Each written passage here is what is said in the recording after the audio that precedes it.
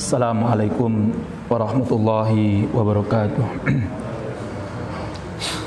Innal hamdalillah nahmaduhu wa nasta'inuhu wa nastaghfiruh wa na'udzu billahi min shururi anfusina wa sayyiati a'malina. May yahdihillahu fala mudhillalah wa may yudlil fala hadiyalah. Asyhadu an la ilaha illallah wahdahu la syarikalah wa nashhadu anna Muhammadan abduhu wa rasuluh la nabiyya wa la rasula ba'dah. Yaqulullahu tabaraka wa ta'ala ba'da a'udzu billahi minasyaitonir rajim.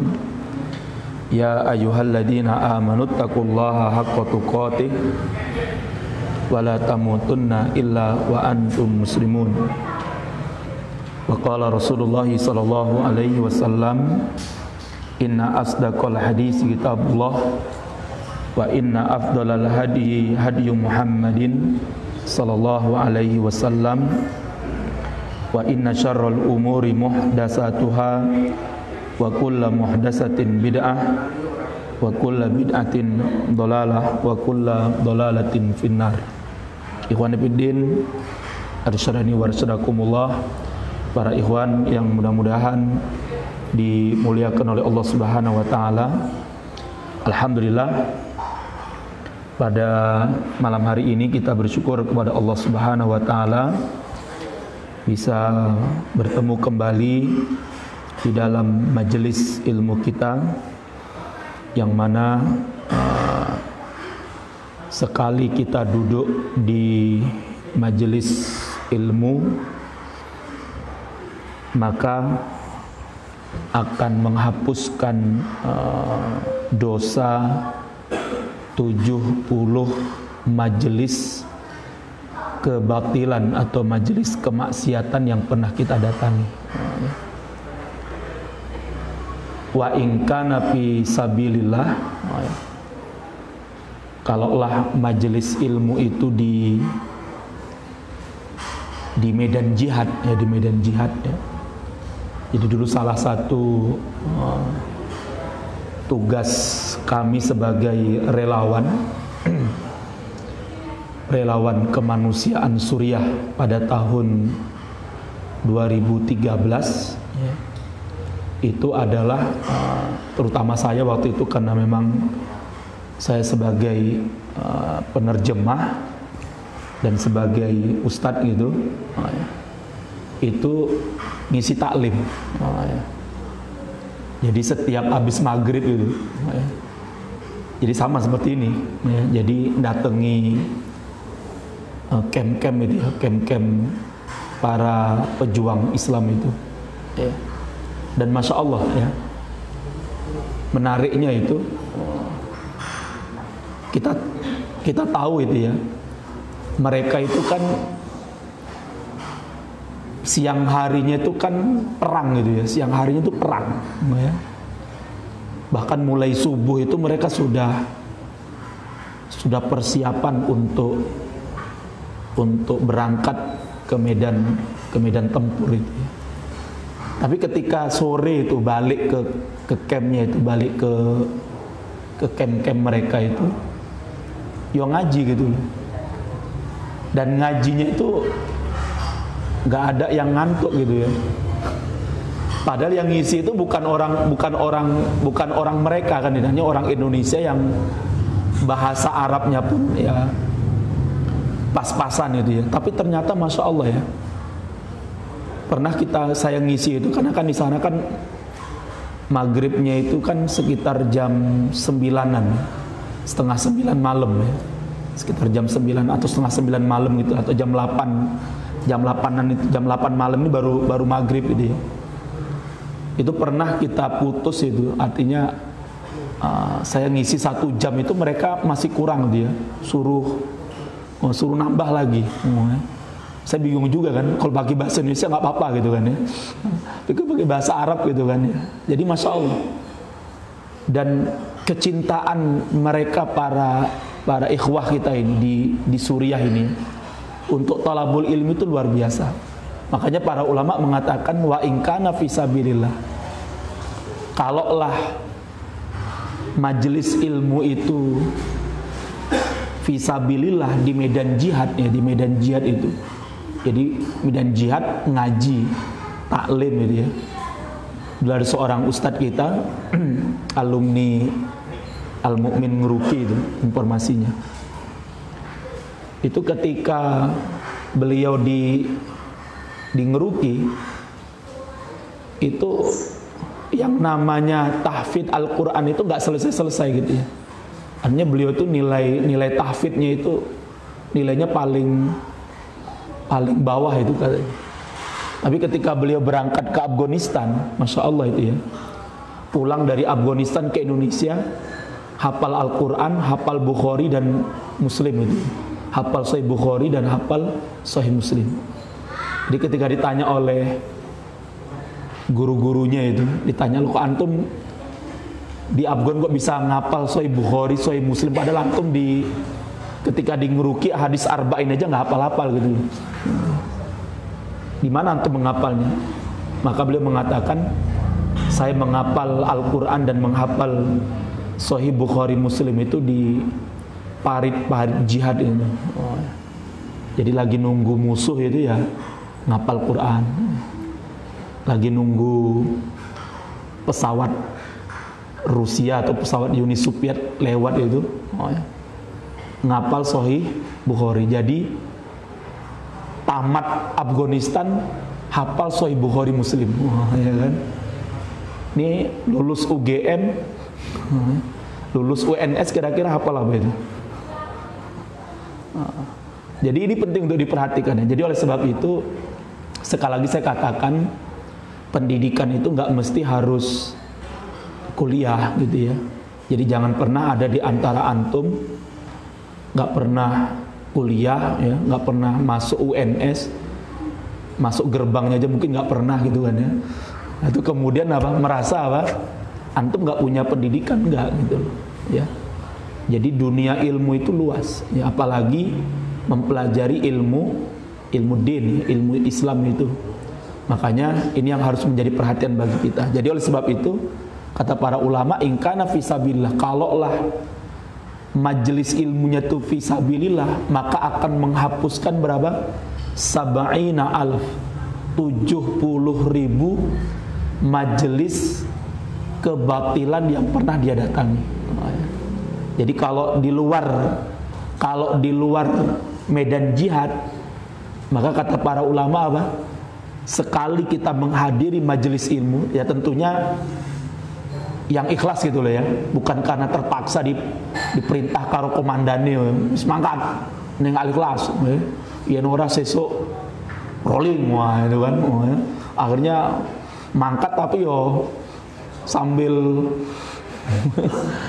sambil apa itu ya dumeng apa namanya dumel ya mungkin ambil atau mungkin kurang atau mungkin majelisnya dikurangi mungkin gitu kan ya. Tapi yang berangkatnya ikhlas karena Allah insya Allah gitu ya. Maka akan menghapus berapa? 70 majelis kebatilan yang pernah kita datang. Padahal bisa jadi dalam sehari itu ya ada sekian puluh majelis kita datang itu ya. Duduk neng depan TV ya kan. Nonton India, itu majelis batil enggak itu? Ya kan? Nah, ya. ya. Depan TV ya. Nonton Korea ya majelis batil ya. Nongkrong neng warung sambil ngudut ya batil. ya kan? Ngudut sing siji anan ya kan? Oh, ya.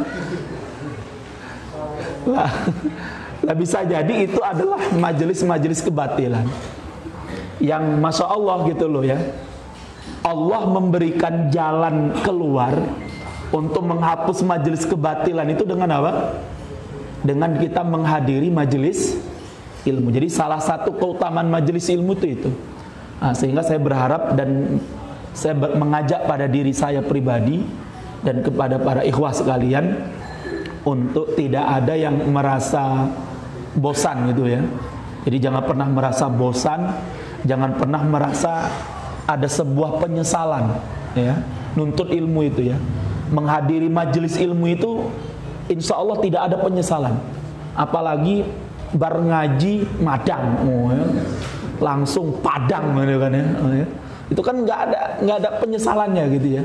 Nah ini yang harus menjadi perhatian bagi kita sehingga tentunya uh, kita bersyukur ya, bersyukur kepada Allah Subhanahu wa taala kita masih diberi kesempatan oleh Allah untuk bisa tolabul ilmi. Mudah-mudahan Allah istiqomahkan kita tolabul ilmi ini sampai uh, kita diwafatkan oleh Allah Subhanahu wa taala.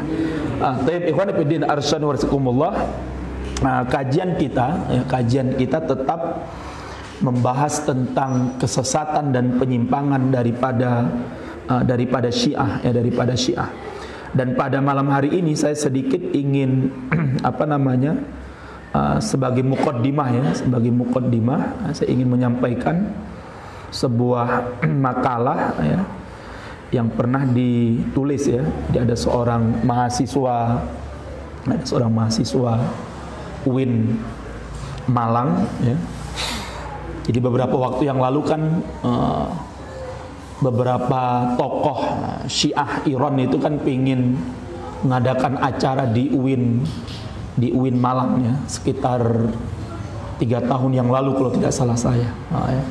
Yang kemudian salah seorang alumnusnya menulis ini ya ini sebagai sebagai mukaddimah supaya kita bisa tahu ini ya. Dia tulis makalah se hanya empat halaman saja tapi makalah ini penting untuk kita kita baca untuk kita kaji ya dia mengatakan nah ya mungkinkah di masa depan Syiah Iran menggeser dominasi Sunni. Nah, ya. jadi dia sudah uh, apa namanya sudah memberikan sebuah analisa gitu ya. Mungkinkah Syiah ini akan menggeser peran pengaruh dan dominasi ahlus sunnah?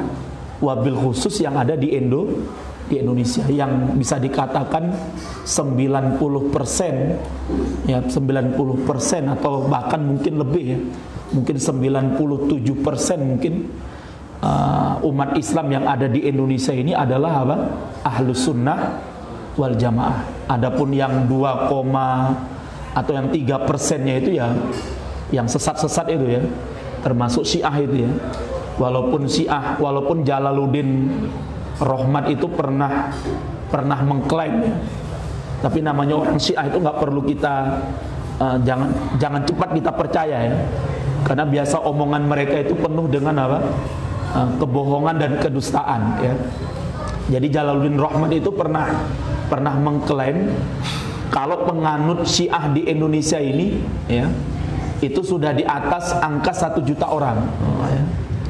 Tapi kemudian hasil dari penelitian beberapa asatid kita, insya Allah uh, apa namanya kisaran jumlah mereka ini masih ratusan ribu ya. Saya ketemu dengan Ustadz Farid, Ustadz Farid Ahmad Okbah. Beliau pernah melakukan sebuah penelitian itu, ya walaupun mungkin belum belum apa namanya, belum begitu kuat ya tapi beliau pernah mengatakan ya uh, jumlah pengikut Syiah di Indonesia ini masih sekitar berkisar 400 ribuan, ya, 400 ribuan. Tetapi ini sangat mungkin sekali mereka akan membesar. Bahkan mungkin mereka akan menggeser apa?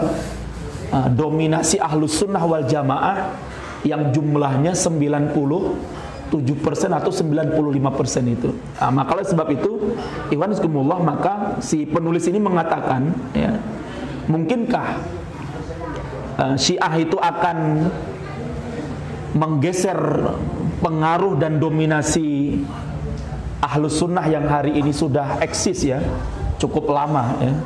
Bahkan bisa dipastikan insya Allah ulama kita yang pertama kali datang ke Indonesia ini untuk membawa Islam itu dipastikan adalah ahlu sunnah wal jamaah walaupun ada klaim ya jadi kalau nanti di Aceh itu oh ya, uh, beberapa penulis penulis Syiah itu mengklaim bahwa orang pertama yang membawa Islam masuk ke Indonesia itu adalah dari Persia tapi teori ini dibantah oleh banyak para ulama ya.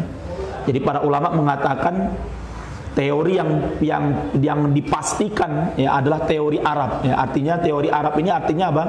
Artinya orang pertama yang membawa uh, datangnya Islam atau membawa Islam berdakwah Islam di Indonesia itu adalah ulama-ulama yang berasal dari Arab bukan dari Persia. Kalaupun dari Persia itu pun dipastikan itu adalah ulama-ulama ahlus sunnah wal jamaah tidak sebagaimana yang mereka klaim karena waktu itu karena waktu masuknya jadi pertama kali kan kalau kita baca sejarah itu kan abad pertama Hijriah ya. Jadi tahun seratusan Hijriah. Berarti kan abad pertama. Waktu itu masih ada generasi sahabat ya. Jadi abad pertama Hijriah itu Islam sudah masuk ke ke Nusantara ya. Bahkan ada yang mengatakan Islam itu sudah masuk ke wilayah Nusantara. Wilayah Nusantara ini tidak hanya diklaim sampai Indonesia saja ya, karena kalau kita baca Nusantara itu luas ya. Jadi kalau kita baca sejarah Nusantara itu, dulu Nusantara itu sampai Filipina Selatan sana. Ya, jadi dulu eh, yang namanya Nusantara itu sampai yang namanya uh, Rohingya ya. Rakhine State ya, Rakhinnya itu itu sampai dulu di sana ya dan dan luas. Jadi wilayah Nusantara itu sangat luas sekali. Dan yang menyatukan Nusantara itu ternyata bukan bukan gajah modo. Oh, ya. Jadi ini keliru. Kita selama bertahun-tahun, berpuluh-puluh tahun kita di, dibohongi dengan sejarah yang mengatakan bahwa yang menyatukan Nusantara itu adalah siapa? Uh, Mahapatih Gajah Mada. Jadi patihnya Gajah Mada rajanya waktu itu adalah Hayam Buruk, oh, ya kan? Hayam Buruk. Lah padahal kalau kita baca sejarahnya, ya, waktu itu kan apa namanya ada kerajaan Hindu itu kan, yang dipimpin oleh apa? Uh, yang dipimpin oleh Hayam Buruk yang terakhir dia. Karena setelah itu nanti mereka hancur dan kemudian ada kerajaan di Jawa Barat ya. Jawa Barat itu namanya ah, kerajaan Pajajaran ya. Lah ternyata kerajaan Hindu ini tidak mampu untuk menyatukan apa? Wilayah Jawa saja karena waktu itu kan kekuasaannya Hayam Wuruk itu, kekuasaannya Hayam Wuruk itu itu wilayah Jawa Timur. Sedangkan di Jawa Barat itu ada namanya kerajaan lain yang namanya Pajajaran. Lah ternyata Hayam Wuruk dengan patihnya yang bernama Gajah Mada ini, ya kerajaan Majapahit Hindu ini itu ternyata untuk menyatukan artinya apa? Untuk menaklukkan pajajaran saja. Untuk menaklukkan pajajaran supaya takluk di bawah kekuasaannya Majapahit itu tidak pernah berhasil. Makanya kalau antum ke Jawa Barat, kalau ditanya orang Jawa atau tidak kira-kira? Enggak. Jawa itu mana menurut orang Jawa Barat? Ya Jawa Tengah, Jawa Tengah sama Jawa Timur itu Jawa.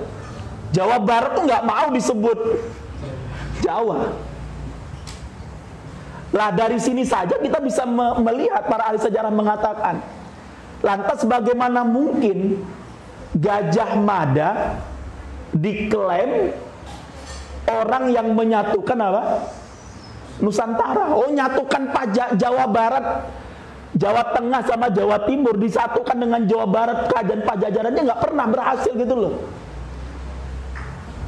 Justru yang pernah saya baca Sangkin stresnya Gajah Mada Orang iso nyatukan pajajaran itu Akhirnya apa? Mati gitu loh Jadi pati Gajah Mada itu Stres Di akhir hidupnya stres oh, ya. Lah ternyata yang yang berhasil menyatukan Nusantara itu siapa? para ulama-ulama kita. Jadi ulama-ulama kita lah dengan Islam itu Nusantara itu disatukan. Ya, dengan satu agama yang bernama Islam dengan satu bahasa yang bernama bahasa Mela bahasa Melayu. Jadi dulu klub itu, makanya kalau antum lihat tuh sekarang ya di Jawa itu ada namanya Pak Mudrik itu pernah nyetak tafsir Al-Qur'an pakai bahasa Jawa tapi tulisannya pakai bahasa tulisan Arab Melayu itu Arab Pegon ya Arab Pegon ya dulu kita masih kecil ya saya masih kecil masih dapet itu jadi kalau di di Aceh itu nulis itu ya pakai Arab pegon itu ya. Jadi tulisan oh itu kan. Ya, pelajaran itu pakai pakai nulisnya pakai Arab pegon. Sekarang anak-anak kita mungkin sudah ya, sudah nggak ada. Yang masih mempertahankan Arab pegon itu Malaysia sama Brunei itu ya. Itu di Thailand Selatan aja, di Filipina Selatan itu masih banyak yang bisa menggunakan apa? bahasa Melayu. Makanya dulu ketika Belanda berhasil menguasai Indonesia, menjajah Indonesia ini, menjajah uh, India Belanda ini, maka yang pertama kali dia hapus dari pendidikan Indonesia itu adalah apa? Mata pelajaran apa? Bahasa Melayu itu. Jadi masa bahasa Melayu itu di apa namanya? Dihapus itu. Karena apa? Karena bahasa Melayu itulah Melayu itulah yang menyatukan apa? Nusantara itulah makanya ikhwan bismillah ini penting untuk kita perhatikan sehingga tentunya nah, kita belajar ya di belajar sejarah ini jadi disebutkan bahwa tahun pertama jadi abad pertama hijriah Islam itu sudah masuk ke Indonesia bahkan ada yang berpendapat Islam itu masuk ke Indonesia, masuk ke wilayah Nusantara ini pada masa kekhilafahan Bani Umayyah. Jadi Bani Umayyah. Bani Umayyah itu kan sekitar tahun 40-an Hijriah. Itu sudah sudah mulai berkembang Islam sampai ke Nusantara. Karena ada sebuah catatan bahwa dulu pada masa Bani Umayyah mereka itu me, apa namanya negeri Syam itu. Kan Bani Umayyah itu kan pusatnya kan di negeri Syam kan? Di daerah apa namanya daerah Damaskus ya. Negeri Syam sana itu mengekspor, mengimpor yang namanya kapur barus dari pulau yang bernama Pulau Barus. Oh, ya. Lah Pulau Barus itu adanya di mana? Oh. Ya di Sumatera sana. Jadi berarti waktu itu berarti apa? Sudah ada orang Arab bawa kapal mungkin ya. Kalau pesawat belum ada ya. Bawa kapal itu apa? Meng mengambil apa? Eh, kapur barus dari sebuah pulau yang bernama apa? Pulau Baru itu catatan beberapa ahli sejarah. Wallahu alam yang jelas Ikhwan ini penting ya. Kemudian catatan sejarah lagi, kalaulah Aceh itu ya, kerajaan Samudra Pasai yang pertama kali berdiri di Aceh itu. Dulu yang pertama kali mendirikannya adalah orang Syiah. Pastinya yang berkembang pesat di Aceh itu pastinya adalah Syiah. Tapi faktanya hari ini 99% penduduk Aceh itu madhabnya adalah apa? akidahnya adalah ahlus sunnah wal jamaah. Adapun gelar yang bernama Syiah itu bukan bukan Syiah yang diklaim oleh mereka. Ini orang-orang Syiah ini ya, bodoh gitu loh, oh, ya. ya. Jadi mentang-mentang di Aceh itu ada apa? Di Aceh itu ada namanya Universitas Syiah oh, Syiah Kuala. Wow, itu menunjukkan Syiah. Padahal enggak. Jadi Syiah jadi sah. Jadi kalimatnya itu sah. Sah itu adalah gelar raja-raja Aceh pada masa lalu gitu loh. Karena memang dulu uh, berkaitan dengan Turki apa? Turki Utsmani sebagainya. Jadi waktu itu apa? Kalimat syah, syah itu adalah apa? Gelar raja. Jadi bukan syiah gitu loh. Oh, ya. Yang kemudian sekarang diklaim oleh mereka oh, tuh, bukti syiah. Oh, ya itu menunjukkan dulu orang yang pertama kali membawa, membawa Islam ke Aceh itu Syiah. Buktinya apa? Universitasnya namanya oh, Syiah Kuala. Padahal bukan Syiah Kuala, Syah Kuala ya. Jadi Syah Kuala itu gelar Syah itu gelar seorang atau gelar raja-raja Aceh. Lah ini ikhwan semula yang harus kita perhatikan. Jadi maka kita harus pahami betul karena? Salah satu pintu masuknya Syiah di dalam melemahkan akidah kita ini adalah melalui apa? Ah, melalui pintu sejarah. Jadi kalau kita nggak paham sejarah ini luar biasa. Misal contoh ya, orang-orang Syiah itu sering kali mengatakan apa? Imam Ibnu Jarir atau Bari itu apa namanya sangat membela ahlul bait, membela Syiah. Oh, ya. Lah kalau kita nggak paham sejarah, lah ternyata apa? Dalam sejarah Islam itu ada dua orang yang namanya Ibnu Jarir atau Bari. Persis namanya. Ya, tapi yang satunya adalah Syiah Rafidhah, yang satunya adalah apa?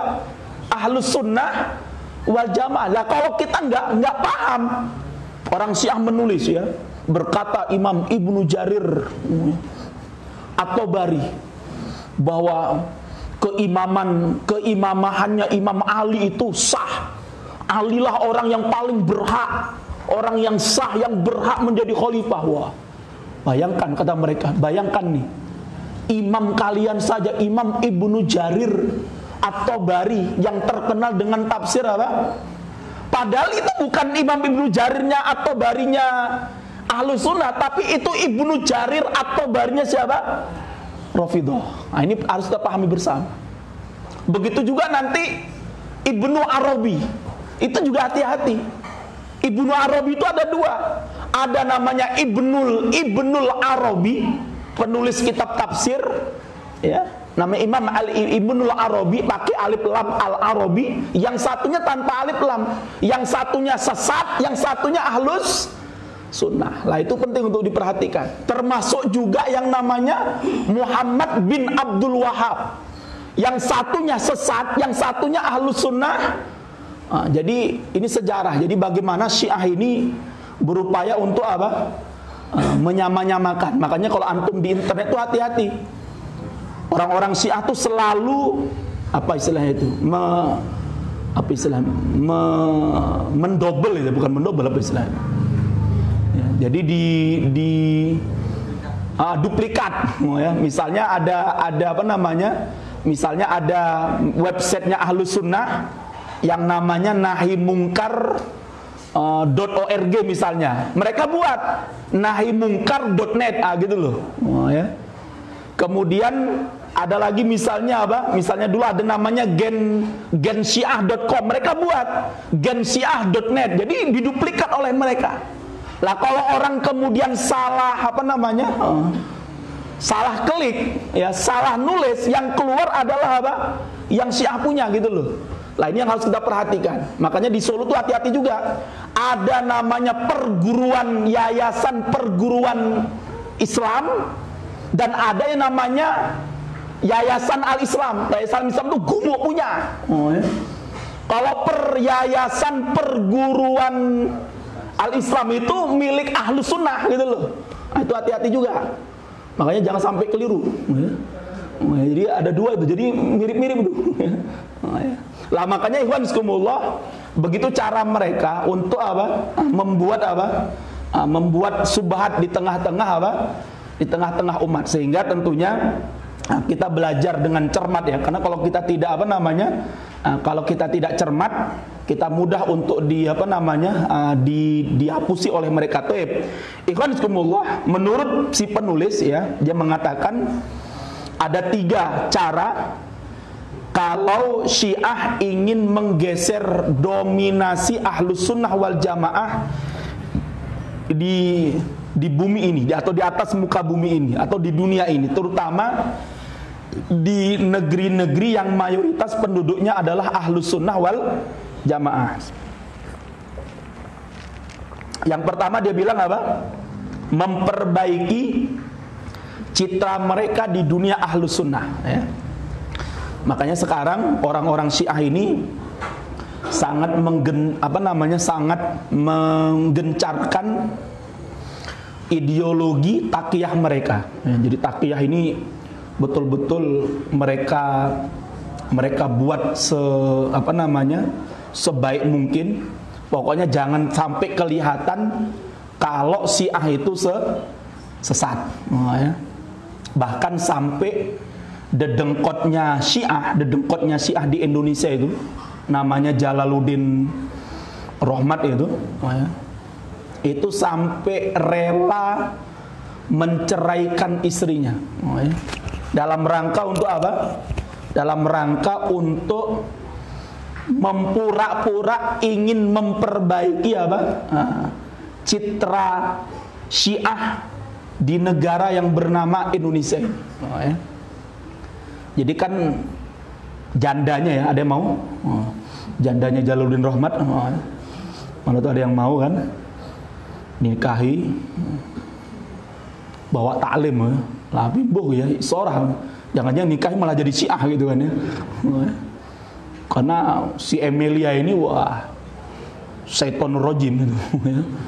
Ya. itu kalau di Facebooknya itu dia hampir setiap satu jam sekali itu update update si si A wah.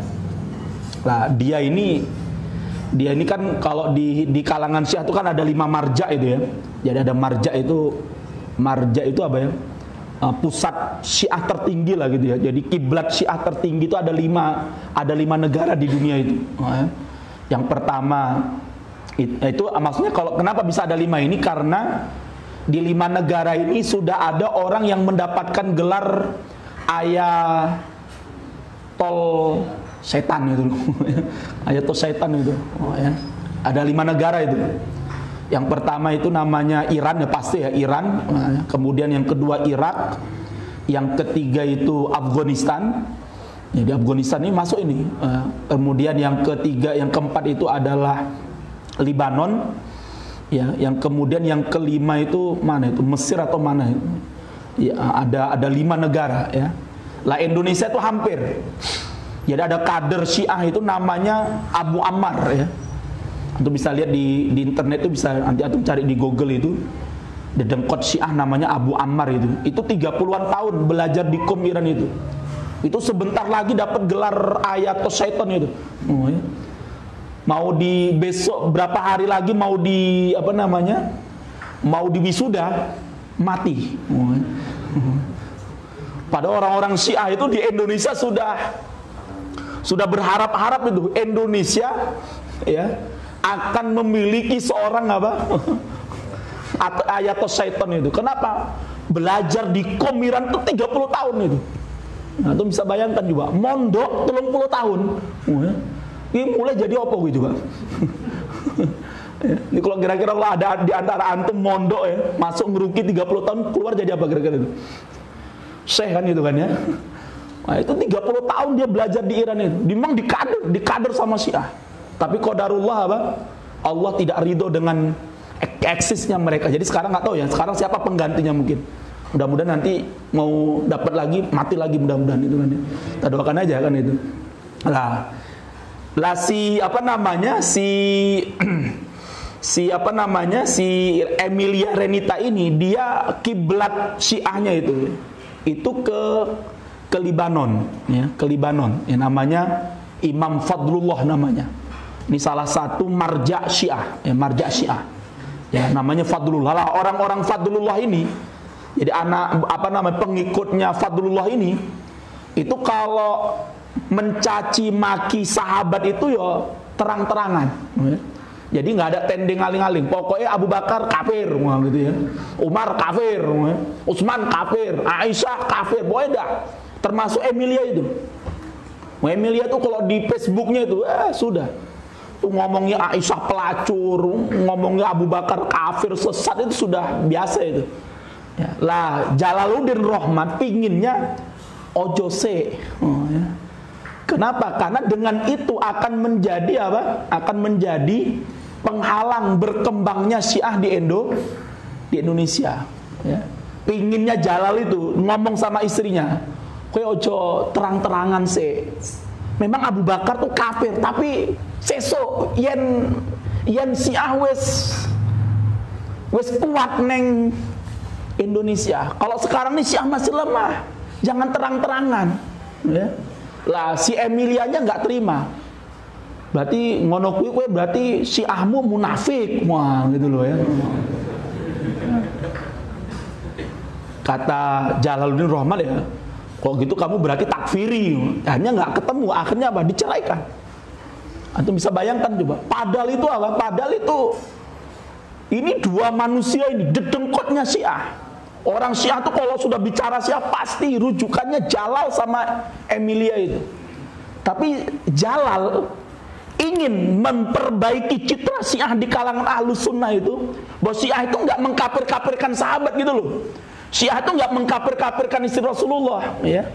Maka akhirnya apa? Dia ceraikan dia colke istrinya itu bojone ini colke ya.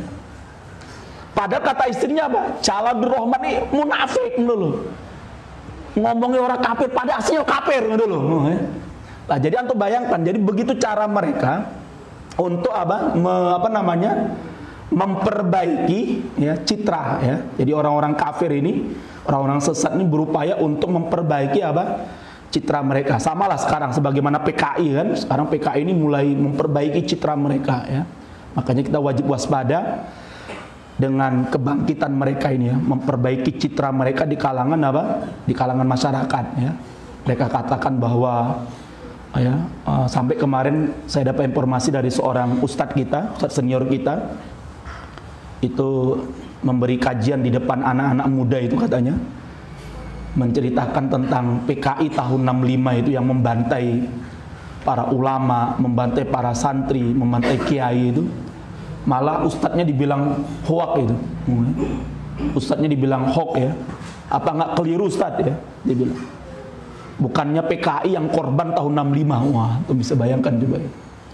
Jadi sekarang anak-anak kita yang anak-anak yang lahir tahun setelah tahun 98 ya tahun setelah tahun 98 ya itu sama sekali tidak mengerti itu sejarahnya PKI karena ketika Soeharto itu lengser tahun 98 maka yang pertama kali dilakukan oleh orang-orang PKI pada waktu itu adalah apa? menghapus film PKI nah, ya. Padahal saya dari kecil sudah nonton ya dari saja dari di kampung saya itu TV itu masih masih TV hitam putih gitu ya. itu masih pakai baterai itu, masih apa namanya pakai aki itu kan ya. Itu kalau sudah mau malam tahun apa malam 30 September itu saya bawa tuh akinya naik sepeda ontel itu. Saya caskan itu kan. Supaya malamnya bisa nonton 30 September. Tahun berapa itu? 80-an itu ya. Tahun 90-an gitu ya. dan itu bisa nonton gitu. Nah sekarang ternyata apa? Ternyata sekarang itu selama 20 tahun hilang itu. Baru muncul kembali film itu tahun 2018 ya. Ketika waktu itu Panglima TNI-nya Gatot Nurmantio itu ya Pak Jenderal Gatot Nurmantio ini memerintahkan kepada TNI di seluruh Indonesia untuk nonton kembali nonton bareng kembali film G30 SPK itu lah orang lah orang-orang PKI itu sudah buat film sendiri gitu loh. Mereka sudah buat film, film G30 versinya PKI. Oh, ya, jadi ada filmnya itu. Makanya kita wajib wajib waspada sebenarnya.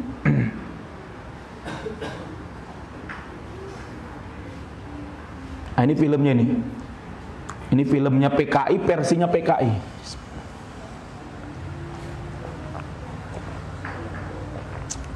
Judul filmnya Shadow Flame.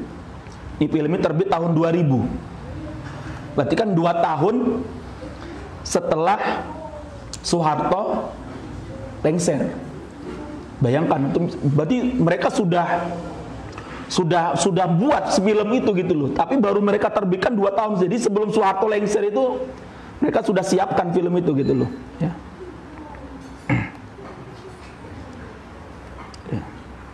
Ini filmnya namanya Sedo uh, Sedo Printer ya.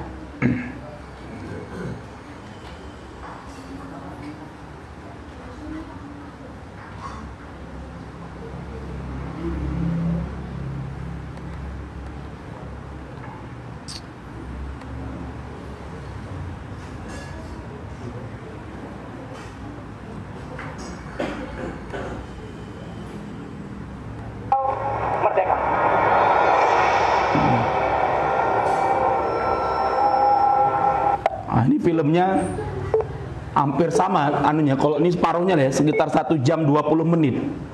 Ya. Film ini ya ini 180 derajat berbeda dengan film G 30 SPK itu film Gestapo itu. Film ini dari mana sumbernya? Sumbernya dari sini nih filmnya nih. Bentar ya. Jadi mereka buat filmnya itu dari dari apa namanya? Dari sebuah apa namanya jadi ada ini mereka ngambil apa nama dari sebuah buku itu ya jadi film-film ini diambil dari buku ini nih dalih pembunuhan massal gerakan September dan kudeta Soeharto ini penulisnya John Rosa orang kiri juga ini ya John Rosa ini bukunya setebal sekitar 450 halaman ini. 450 halaman ini. Lah buku ini yang di yang dijadikan apa? Yang dijadikan sebagai uh, salah satu apa? Salah satu sumber film Sedufle ini ya. Jadi kalau dalam dalam film yang dibuat oleh PKI tadi ini mereka mengatakan bahwa yang menjadi apa namanya menjadi korban itu justru adalah siapa? Uh, adalah PKI. Pelaku G30 SPKI itu bukan 30S bukan SPKI tapi apa? 3 G30S Soeharto nah, gitu loh. Jadi pelakunya Soeharto. Nah, sekarang jadi makanya ketika Syiah ketemu komunis itu memang plak itu loh. Sama-sama tukang apa? Tukang apa? Tukang ngapusi gitu ya. Sama-sama tukang ngapusi, sama-sama memang punya satu misi namanya adalah apa? Revolusi. Lah makanya Iwan semula ini penting untuk kita perhatikan. Jadi maka ini kan penting ya untuk kita pelajari sejarah ini. Jadi oleh sebab itu ya, kita harus pahami betul ya bagaimana uh, mereka berupaya untuk memperbaiki citra ya. Jadi sekarang sekarang uh, kelompok-kelompok sesat ini berupaya untuk memperbaiki citra-citra mereka termasuk liberalisme, sekulerisme, pluralisme. Bahkan sekarang ini yang paling berbahaya itu adalah agama yang bernama humanisme. Ya, humanisme itu adalah apa? Kemanusiaan. Itu yang sekarang sedang di digencar-gencarkan di masyarakat kita itu, ya. Kenapa kita kok salam lima agama atau salam lintas agama itu kenapa? Demi kemanusiaan. Ya. Supaya kita tidak menganggap bahwa agama kita toklah yang yang eksis di negeri ini gitu loh. Ya, saya sebagai RT, saya harus me mengayomi warga saya yang lima agama. Makanya apa? bahwa kemanusiaan itu di atas semua agama. Ini setan. Ini setan ini. Ini kalau ada RT di sini hati-hati. Jangan sekali-kali kemudian Anda salam assalamualaikum warahmatullahi wabarakatuh. Salam sejahtera. Om Antum coba kaji itu.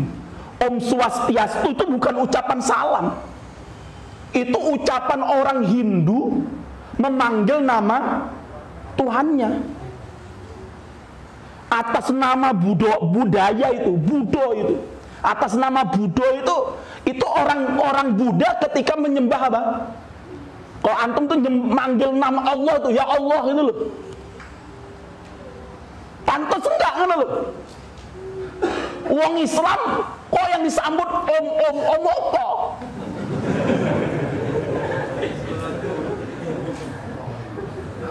Om itu itu nama itu itu sebutan orang Hindu itu nama Tuhannya Hindu pendeta apa namanya dewanya Hindu itu panggilannya jadi itu bukan ucapan salam satu-satunya ucapan salam itu ya assalamualaikum warahmatullahi wabarakatuh tapi sekarang atas nama humanisme atas nama kemanusiaan, memanusiakan. Mereka kan juga manusia.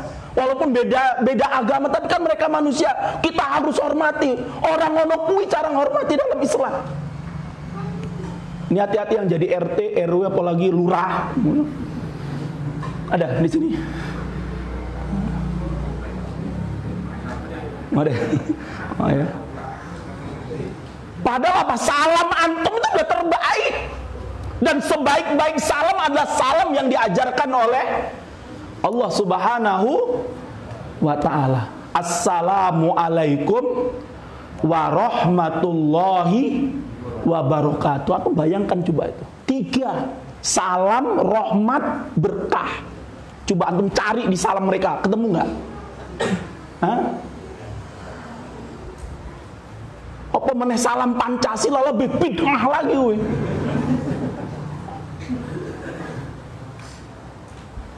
Itu jawabannya apa coba? Salam Pancasila, jawabannya apa coba?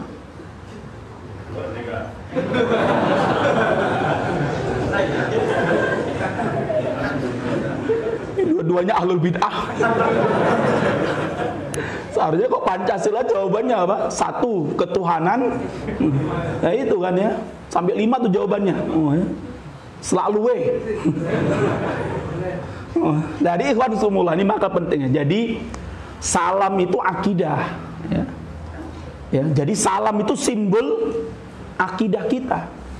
Makanya kata Imam An Nawawi rahimahullah taala ketika beliau menjelaskan tentang ucapan salam, itu kalimatnya aslinya apa? Atawassalu. Atawassalu bisalam ya. Jadi atawassalu bisalam. Jadi ya Allah, kami bertawasul dengan namamu yang bernama Assalam gitu loh kalimatnya itu. Ya. Untuk memberikan apa? Assalamualaikum agar memberikan apa? Keselamatan kepada jadi satu-satunya dalam akidah kita yang bisa yang hanya mampu untuk memberikan keselamatan itu adalah siapa? Allah Subhanahu wa taala bukan Buddha, bukan Om. Ya. Di Om. Nah, ini penting ya semua. Nah, makanya agama humanisme ini sekarang dikembangkan di masyarakat itu, ya ada orang maksiat, orang popo, yang penting orang ganggu itu kan ya. Nanti kan namanya humanisme juga kan. Ya. Ada mereka yang melakukan, ada yang nyembah eh, tai kebu. Ya. Ora popo, yang penting orang ganggu awake dewe. Memang nggak ganggu awake, tapi ganggu agama kita gitu loh. Karena mereka masih meng, masih membawa nama apa? Islam. Kalau mereka keluar dari Islam, kami agama penyembah telek kebo, monggo gitu loh. Silahkan gitu loh. Tapi kalau masih ngaku orang Muslim, kemudian apa ya? Nah, ini kalau kita lihat sini nih, ya, misalnya di sini nih. Ketika kasus kemarin di mana tuh? Di India itu ya. Oh, ya. Gak masih ada nggak videonya? Saya masih saya masih nyimpan itu bagaimana ya, orang-orang Hindu ini menjadikan apa? Ah, menjadikan nah, di sini nih. Kalau antum lihat di sini nih ya. Ini bagaimana cara mereka menyembah yang namanya uh, ya, ya. Oh ya. Oh, ini telek, ini telek, telek, telek sapi. Ya. Bedanya mau kalau ini sapi yang kok solo kebu ya. Waduh ya. Oh,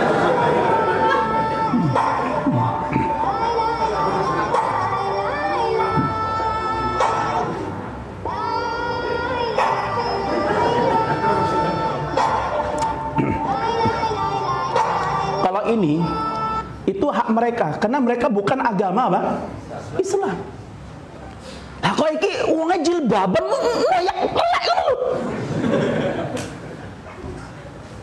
Pas piye ngono lho. Ya. Oh,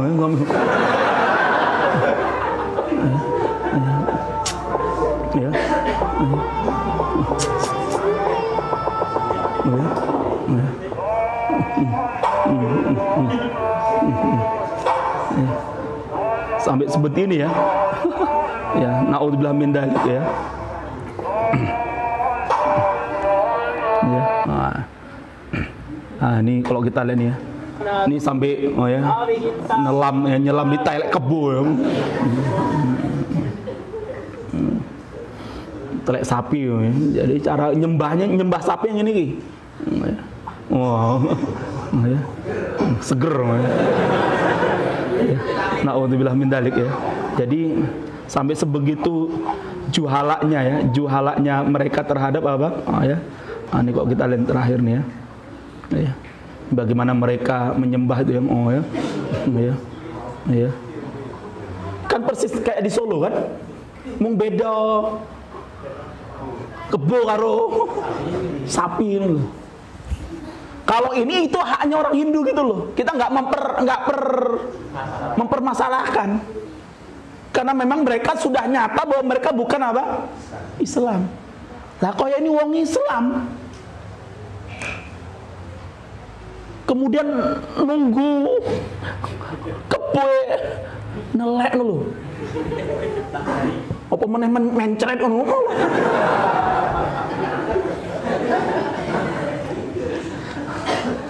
Nah, jadi Astagfirullahaladzim. Nah, maka Iwan Sukumullah, lah ini yang harus menjadi perhatian bagi kita ya bahwa ternyata apa?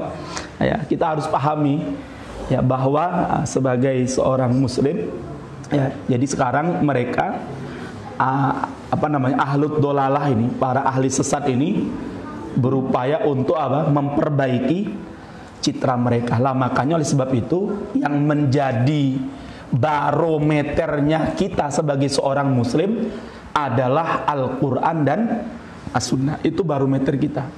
Yang menjadi barometer kita adalah kalimat La ilaha illallah Muhammadur Rasulullah. Yang menjadi barometer kita itu adalah akidah ahlus sunnah wal jamaah. Bukan yang lainnya. Kalau yang lainnya menjadi barometer, rusak kita itu. Kalau yang menjadi barometernya adalah kebanyakan orang yang menjadi barometernya keumuman orang yang menjadi barometernya liberal yang menjadi itu akhirnya apa? Maka kita akan terlepas dari agama kita. Tuh ya bisa dipahami ya. Nah, jadi sekarang Syiah ini berupaya untuk memperbaiki citra mereka di kalangan ahlus sunnah. Seakan-akan mereka ini tidak apa? Uh, tidak sesat ya. Mereka banyak nulis buku-buku yang menunjukkan bahwa mereka tidak mencaci maki sahabat. Padahal itu sekedar apa? Hanya sebatas apa? Uh, takiyah mereka. Mereka ingin menyembunyikan itu sendiri sen uh, sekarang. Kenapa? Karena belum waktunya mereka untuk melakukan pembantaian atau pembantian terhadap akidah Islam maupun kaum musliminnya. Sama sebagaimana di Suriah ya. Jadi di Suriah itu sudah mereka lakukan itu sekian puluh tahun yang lalu. Sejak tahun 60-an itu mereka sudah berupaya untuk melakukan propaganda-propaganda Syiah itu. Sampai terjadi yang namanya takrib antara ahlu sunnah dengan Syiah itu sudah terjadi puluhan tahun. Ya, tapi baru mereka lancarkan kejahatan mereka kapan? Ya, setelah apa? Setelah sekian puluh tahun 2011 mereka baru kemudian menunjukkan taring mereka untuk membantai ahlu sunnah wal jamaah makanya kita tidak jangan sampai apa jangan sampai kita per, terperdaya dengan ucapan orang-orang Syiah ini. Jadi apa yang terjadi di Yaman, apa yang terjadi di Suriah, apa yang terjadi di Irak itu persis sama sebagaimana yang terjadi di Indo di Indonesia ya. Lah sekarang di Suriah sudah terjadi, di Irak sudah terjadi, di Yaman sudah terjadi. Maka apa? Jangan sampai itu terjadi di mana? Di Indonesia. Sejarah yang terjadi di Suriah, di negeri Syam, yang terjadi di, di, di, di Irak, yang terjadi di, di Yaman itu menjadi penting pelajaran bagi kita. Bahwa apa? Syiah ngapu. Si kerjanya ngapu. Oh, kita ini bersatu kita tidak ada perbedaan. Perbeda persamaan ahlu sunnah dengan syiah itu lebih banyak. Enggak. Satu saja perbedaan kalian itu sudah menjauhkan kalian dari apa dari Islam sejauh-jauhnya lah ini kan menjadi penting bagi kita sehingga Nah, kita wajib waspadai. Jadi kalau ada sekarang orang-orang Syiah, bahkan saya dapat informasi orang-orang Syiah sekarang itu sudah mulai uh, apa namanya melakukan kegiatan yang namanya resik-resik masjid. Oh, ya. Jadi sekarang mereka sudah punya mobil khusus ini untuk bersih-bersih masjid. Mereka setiap Jumat datangi masjid-masjid itu masjid-masjidnya ahlu sunnah untuk diapain? uh, dibersihkan. Lah oleh sebab itu saya berharap nanti uh, di kalangan kita ini, ikhwan-ikhwan kita ini kita harus punya program itu ya. Program resik-resik uh, masjid itu ya. Minimal nggak usah banyak-banyak dulu ya. Satu mobil aja dulu ya kita punya, ya kita lengkapi dengan alatnya gitu. Setiap Jumat kita uh, paling tidak kalau di Solo ini ya, uh, wilayah pasar Kliwon dulu lah, oh ya. Ya, kita datangi satu persatu setiap Jumat program kita datangi masjid kita bersihkan ya. Terutama kamar kamar mandinya kan itu kan ya. Sekarang banyak kamar-kamar mandi masjid-masjid itu yang yang terus terang aja ya. Baunya ya ya, ya. Betul-betul kadang-kadang kurang baik kan itu kan ya. Nah itu kita datangi. Nanti ada yang bersihkan kamar mandinya ada yang nyapu masjidnya misalnya dan itu sekarang sudah dilakukan oleh orang-orang Syiah. Lah bayangkan kalau padahal itu salah satu sarana yang paling kuat, paling cepat itu untuk mengakrabkan Syiah dengan apa? Dengan masjid, ya. Akhirnya takmirnya ya seneng, wah matur nuwun Mas ya. Masjidku ya kue, ya. kamar mandi sekarang jadi apa? Dibersih, wah kulo matur nuwun ya Ah, nanti setelah kena takmirnya sudah bisa didekati takmirnya, mereka akan tawarkan apa? Ah, program-program berikutnya ya. Dari yang paling banyak sekarang apa misalnya program baca Al-Qur'an misalnya. Mereka kirimkan orang-orang yang hafal Quran di antara mereka, orang-orang yang apa namanya yang bisa mengajarkan tajwid kepada umat umum diajak datang setelah itu nanti apa? Naik lagi meningkat berikutnya kemudian apa? Nah, lah ini makanya penting juga bagi kita. Alhamdulillah kan di Solo kan sudah ada tuh ya komunitas nasi murah ya. Alhamdulillah sudah ada. Oh ya. Komunitas nahi mungkar sudah ada. Komunitas apa lagi tuh? Oh ya. Nah, mudah-mudahan nanti ada lagi komunitas kemungkinan besar juga sudah ada komunitas yang mungkin belum uh, mungkin belum apa belum besar ah, mudah-mudahan kita bisa bantu itu ya. Uh, komunitas resik-resik masjid KRRM oh, ya. apa itu? Komunitas resik-resik masjid. Lah ini penting untuk kita berdayakan ya. Karena dengan masjid itu karena yang para ikhwan-ikhwan para aktivis itu jauh dari masjid-masjid terutama yang ada di desa-desa itu. Orang-orang desa itu nggak ngerti mau LD ai ai mau ahmad dia mau apa yang mau aliran apa itu mereka nggak mudeng. Sing penting ono wong sing ngape gelem bersih masjid wis. Seneng ya kan? Kan orang nggak tanya dia ada orang datang ya. Pakai kupu apalagi katoi cingkrang gitu kan ya. Nawarkan mbak saya mau membersihkan masjid. Itu nggak ada kue si orang orang nggak ada ya. Orang desa tuh nggak nggak tanya kue PKI orang nggak tanya itu yang penting apa ada yang baik dengan mereka mau membersihkan masjid mereka nawarkan lah makanya kalau itu diambil oleh mereka dan ini menjadi ini menjadi cara mereka untuk apa? Memperbaiki apa? Citra mereka di kalangan apa? Ahlu sunnah ya. Ditulis mungkin mobilnya ijabi mungkin kan. Ikatan Jamaah Ahlul Bait Indonesia misalnya. Warga tanya, "Oh, ini ijabinya Oh, ijabi ini adalah kita ada orang-orang yang mencintai Rasulullah. Oh, masya Allah ya. Kulo yang ngaji neng Habib Syekh, oh, cinta Rasulullah kan, nyambung jadinya kan. Nah, pada dikirain satu satu apa namanya satu satu madhab dengan Habib Syekh ternyata jauh sekali gitu loh. Karena orang-orang Syiah ini kan juga mengklaim cinta Rasul dan cinta ahlul baik. Lah ini yang harus kita perhatikan. Lah ini yang pertama. Kemudian yang kedua, kalau Syiah mampu menggeser dua pengaruh kekuatan besar Islam Sunni yaitu Ikhwanul Muslimin dan Wahabi. Jadi memang uh, menurut si penulis ini dia mengatakan apa?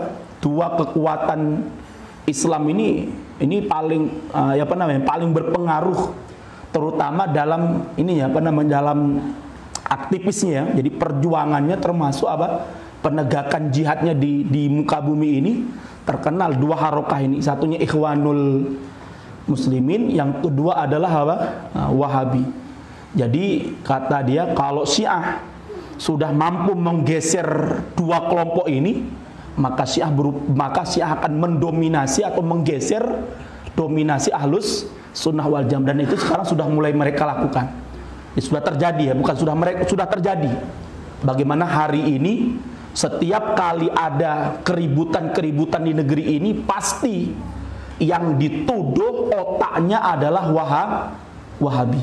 Oh ya. Sehingga apa? Citra Wahabi di mata penguasa, di mata pemerintah itu pasti jelek. Ya. Karena Syiah selalu itu komentar, selalu berbicara. Di belakang teroris adalah Wahabi. Di belakang FPI Wahabi, di belakang 212 Wahabi, di belakang demo-demo Wahabi. Pokoknya Wahabi and Wahabi and Wahabi. Jadi Wahabi itu dibunuh karakternya. Dihabisi, dikriminalisasi. Meskipun dia bukan orang Wahabi, Misalnya kayak Ustaz Abdul Somad itu. Atau dulu ada Habibuna, semoga Allah mengampuni dosa-dosa beliau dan merahmati beliau. Beliau sudah meninggal dunia Habib Zain Al-Kaf rahimahullah taala. Itu Nahdlatul Ulama tulen itu. Asy'ariyun tulen. Tapi karena beliau aktif menyuarakan dan menyuarakan dengan lantang kesesatan Syiah, maka orang-orang Syiah mengatakan apa? Dia adalah Wahabi. Sampai kemarin ada yang japri saya itu. Ya. Jadi ada seorang teman itu ngikuti apa namanya Twitternya, Twitternya atau Facebooknya atau uh, eh, NU itu loh, ya. Jadi dia ngikutin dia. Jadi ketika dulu musisi dan penyanyi kafir di Indonesia yang bernama Glenn itu ya, Glenn ya. Glenn itu siapa namanya? Itu kafir nggak itu? Kafir kan? Oh, ya. Itu kata yang yang japri saya ini ya. Itu NU nulis itu. Nulis di dinding di dinding apa namanya? Insta, insta apa nama di dinding Instagramnya atau uh, tweetnya itu ya ditulis itu ya. Wah, kita kehilangan seorang musisi penyanyi terbaik negeri ini. Wah, semoga wah almarhum gini-gini. Tapi ketika Habib Zain Al-Kaf rahimahullah taala meninggal dunia, itu tidak ada di dinding mereka. Itu bisa bayangkan juga ya. Artinya apa? Bayangkan orang kafir mati diucapin apa? Inna lillahi wa inna ilaihi rajiun. Rahimahullah. Kafir.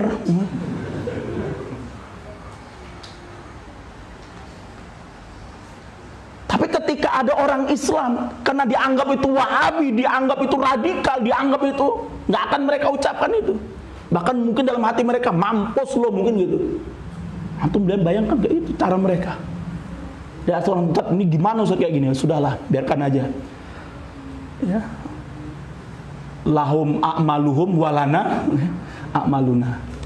Yang penting kita doakan Habib Zain Al-Qaf semoga Allah merahmati beliau semoga Allah mengampuni beliau dan menempatkan beliau bersama kakeknya ya bersama buyutnya yaitu Rasulullah Shallallahu Alaihi Wasallam karena beliau secara nasab apa namanya tersambung sampai kepada sahabat Husain bin Ali bin Abi Thalib radhiyallahu taala anhu. Lah ini penting ikhwan semua. Jadi jadi mereka sekarang sudah mulai menggeser itu ya. Nah, makanya sekarang sedikit-sedikit untuk me, me, menjelekkan kita-kita ini dengan tudingan apa? Kelompok Wahabi. Nah, ya. Bisa ngaji nih ngali kelas Wahabi kabeh. Kecuali Intele mungkin. Kecuali apa? Kecuali Intelnya nggak Wahabi. Ya. Wahabinya bu, Intelnya juga ikut-ikutan Wahabi kan itu kan ya. Jadi mereka sudah tahu tuh, eh kalau ngaji kayak gini nih, ngaji bahas bongkar Syiah, ini pasti sing melakukan adalah orang-orang apa? Wahabilah ini cara mereka untuk menggeser ya. Sekarang para buzzer-buzzer mereka di Indonesia itu salah satunya Denny Siregar itu. Itu dedengkotnya dedengkotnya Syiah di Indonesia itu. Sekarang mereka banyak yang percaya dengan dia.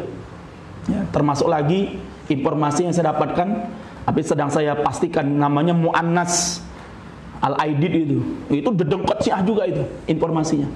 Allah alam tapi ini mereka sudah mulai ya sudah mulai melakukan apa menggeser apa namanya uh, tambah lagi satunya lagi dua Abu Dajjal ya, jadi ketemu setan karo setan ya ba'duhum auliya'u ba'din kan itu pas ketemu tuh saling uh, makanya semula uh, sekarang uh, kita ini harus kuat ya jadi sekarang kekuatan kita ini harus kita jaga ya kita perbaiki, kita kuatkan solidaritas kita, ukhuwah kita. Ya terus terang ya. Saya sering sampaikan dulu kan ya. Ukhuwah kita, wala wala kita sesama ikhwan kita itu dibandingkan kadang-kadang apa dibandingkan ahlud dolalah itu lebih lebih kuat mereka gitu loh. Wala itu ya. Kalau barok kita nomor satu itu. Yang nggak kafir pun dikafirkan itu kan ya apa hukumnya RT kafir ya kan nah, itu saking kuatnya baroknya. Tapi kalau wala itu wala gara-gara ada kesalah paham dikit aja langsung apa? Ya langsung saling apa? Memboikot ya. Terjadi kesalahpahaman dikit di grup langsung out. Hmm. oh, out ya? Out grup nah, ini kadang-kadang gitu sering kita terjadi seperti itu cuma tuh beli orang-orang ahlu dolalah itu sampai mereka tuh jajan itu yang namanya tuku bakso, tuku mie ayam ya harus lihat dulu. Ono angka siji telur telur. Ya kan? Itu bentuk wala mereka. Sampai yang namanya belanja, belanja harian itu. Mereka lihat nih warung enek tulisan.